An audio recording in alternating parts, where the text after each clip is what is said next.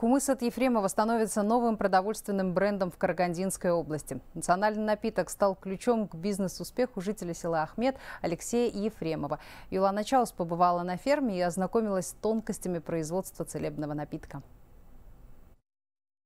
Алексей Ефремов – главный казах села Ахмед. Так шутят жители. В ауле он единственный, кто занимается коневодством и производит кумыс. В его тубыне только дикие кони и лошади, но Алексей нашел к ним подход. Для дойки мы соорудили специальный раскол. Перед кобылой мы ставим корм, и когда начинаем доить, лошадь автоматически успокаивается и начинает есть. Что интересно, увидя это, все красавицы встают в очередь. Производством кумыса на продажу Алексей начал заниматься 7 лет назад. Первое время доить приходилось вручную. Теперь процесс отчасти автоматизирован. Появился доильный аппарат, поголовье удвоилось. Кумыс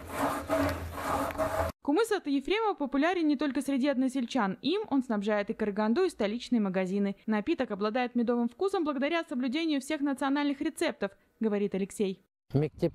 Я сам очень люблю кумыс. По менталитету я казах, вырос среди казахов, учился в школе на казахском языке. Я рад и благодарен своей судьбе.